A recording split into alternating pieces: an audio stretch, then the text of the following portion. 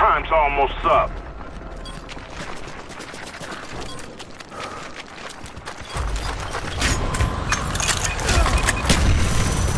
We lost that round, but it's not over. Get ready for the next one.